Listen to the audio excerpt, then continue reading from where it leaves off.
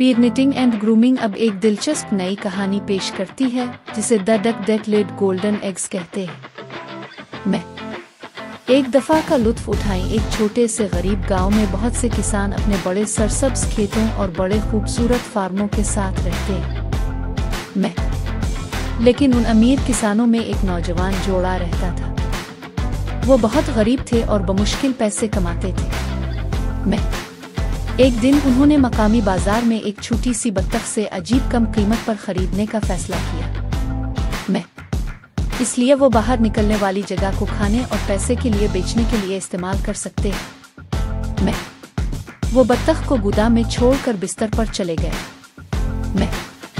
अगले दिन जब किसान बत्तख को देखने आया कि इसने कोई अंडे दिए हैं तो इसका जबड़ा सदमे से गिर गया और जो कुछ इसने देखा, इससे इसकी आँखें खिली की खिली रह गई।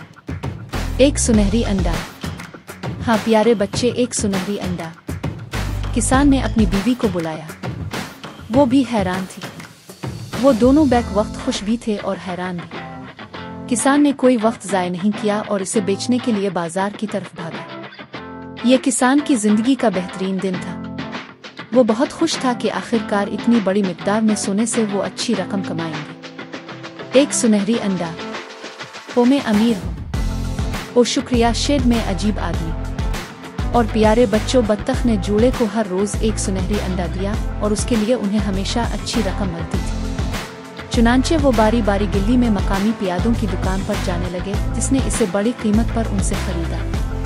पियादे की दुकान वाले को सोने के अंडे बहुत पसंद थे और वो उन्हें हमेशा महँगे दामों खरीदता था। जल्द ही नौजवान किसान जूड़े और प्यादे की दुकान का आदमी अच्छे दोस्त बन गए। दिन ब दिन उनकी ज़िंदगी बेहतर से बेहतर होती गई। उन्होंने एक बेहतर और बड़ा गोदाम खरीदा। फिर उन्होंने एक बड़ा घर खरीद लिया। फिर इससे भी बड़ा। दिन ब दिन, वो अपनी ज़िंदगी का रुख मोड़ने में कामयाब हो गए मुख में गरीब की एक छोटी सी टूटी हुई झोंपड़ी से लेकर एक बड़ी खूबसूरत अमीर हवेली तक। लेकिन उनकी बड़ी दौलत के साथ बड़ा लालच आया।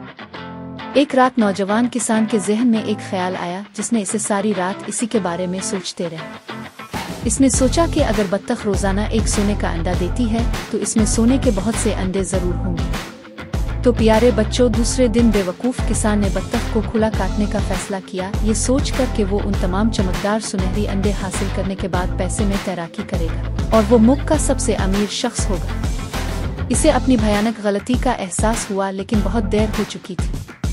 इसने एक और वाहिद चीज़ खो दी थी, जिसने उनके भरपूर तर्ज ज़िंदगी को मुस्तहकम रखा था। जल्द ही उन्हें अपना बड़ा खूबसूरत गोदाम देना पड़ा, क्योंकि वो मजीद किराया अदा नहीं कर सकते थे।